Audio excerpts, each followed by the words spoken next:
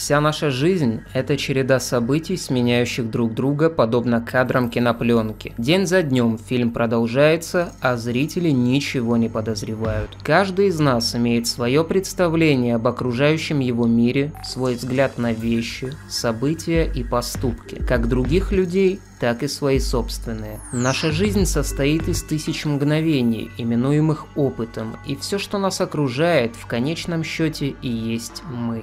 Музыка, книги, фильмы, наши увлечения, друзья и враги. Каждый элемент окружения способен поведать о том, кто мы есть на самом деле. В этом ролике я хочу рассказать вам о фильмах, которые повлияли на мое мировоззрение на разных этапах моей жизни. На мой взгляд, кинематограф один из сильнейших манипуляторов человеческим сознанием. Это визуальная пища, и от ее качества напрямую зависит психическое состояние человека после просмотра. Любое произведение есть плод человеческой фантазии, основанный на его восприятии мира и личном опыте. На подсознании подсознательном уровне мы впитываем идеи, посыл и мысли авторов. Именно поэтому стоит подходить к информации очень внимательно и осторожно. Первой картиной, которая по-настоящему оказала на меня влияние, стала «Американская история X». Я посмотрел этот фильм, будучи подростком, именно в тот период, когда человек максимально подвержен влиянию со стороны социума и вовлечен с ним в тесный контакт. Я был студентом и, как следствие, контактировал с огромным количеством людей разных этнических групп, вероисповедания, различных движений и субкультур. Сам фильм рассказывал историю молодого лидера скинхедов по имени Дерек Виньярд, которого блестяще сыграл Эдвард Нортон, и его младшего брата Дэнни, которого сыграл Эдвард Ферланг. По сюжету Дерек попадает в тюрьму за жестокое убийство, будучи совершенно уверенным в своей правоте, в то время как младший брат, испытывая восхищение в отношении старшего и восторг к его идеологии, попадает под влияние группы националистов, террористов и свято верит в их идеи. Но после окончания тюремного заключения Дерек становится совершенно другим человеком. Он понимает, что вся его прошлая жизнь была страшной ошибкой, а все, во что он свято верил и чтил, лишь слепая ненависть. Пытаясь уберечь от такой судьбы младшего брата и уйти от прошлого, ему придется пойти против всего, что он когда-то строил годами. А как известно, Система не прощает ошибок. Чтобы вы понимали, в тот период мои взгляды были радикальны, и этот фильм смог немного остудить мой пыл. Чем старше я становился, тем тщательнее я фильтровал потребляемую мной информацию, круг общения и свои действия. И главный урок, который я усвоил, никогда не идти на поводу чужих идей и взглядов. Вы никогда не задумывались об иллюзорности этого мира? Миллионы людей в вечной борьбе за место под солнцем, желание доказать свое превосходство, купить лучше, быть лучше, оставить свой след. Это бесконечная гонка, порочный круг – но стоит выйти на улицу ночью, когда все спят, и ты почувствуешь легкость и умиротворение. Все пустое и не имеет ни малейшего смысла. Мир живет, и ему наплевать, сколько у тебя подписчиков, сколько ты зарабатываешь и автомобиль какой марки ты водишь. Все это лишь иллюзия. Несложно догадаться, что сейчас речь идет о «Матрице». Культовый фильм братьев Вачовски. В главных ролях Киану Ривз, Кэрриан Мосс, Лоуренс Фишборн и Хьюго Уоллес Уивинг. Фильм вышел в 99 году, и тогда я совершенно не понял, о чем он. Тому же качество пиратской кассеты оставляло желать лучшего. Кто бы мог подумать, что спустя годы фильм станет для меня откровением, и дело будет далеко не в спецэффектах. Полноценная жизнь во сне. Иллюзорный выбор.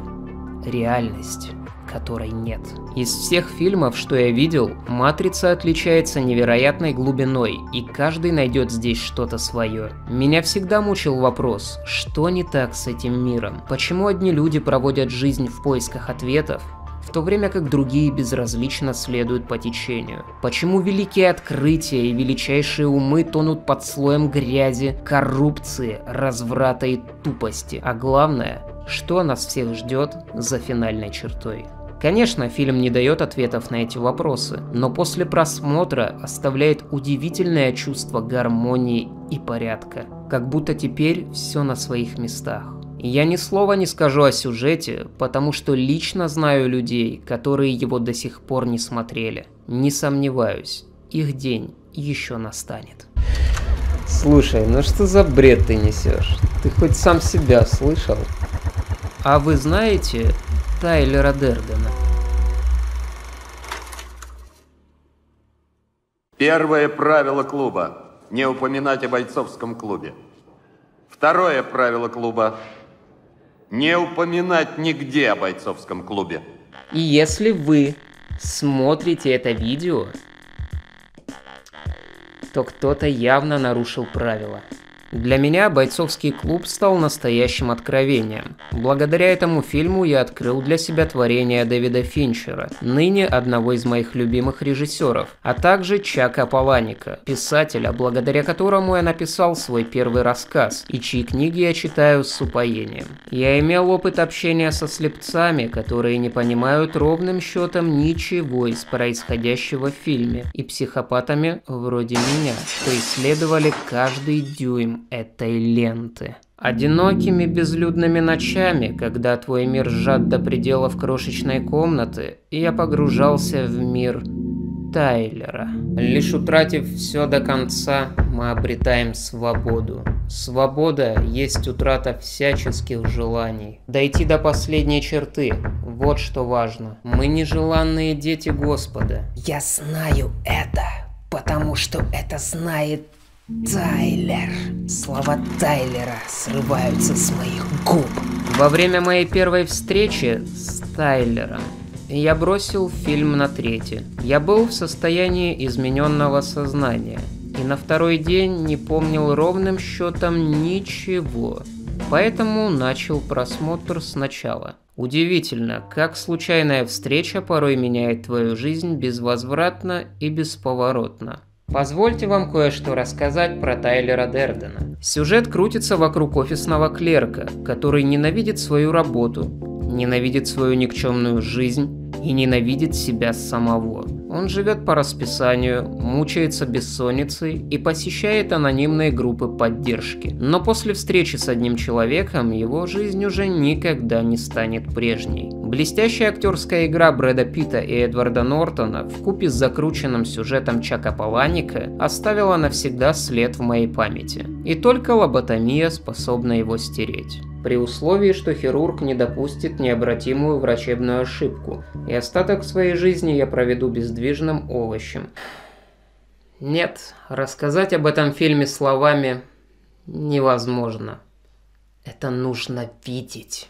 Бойцовский клуб входит в пятерку лучших фильмов, которые я когда-либо видел в своей жизни. И которые я никогда не забуду. Каждый раз, когда я чувствую, что все идет под откос, я включаю бойцовский клуб. А на сегодня на этом все. Если вам понравился этот ролик, вы знаете, что делать. Увидимся.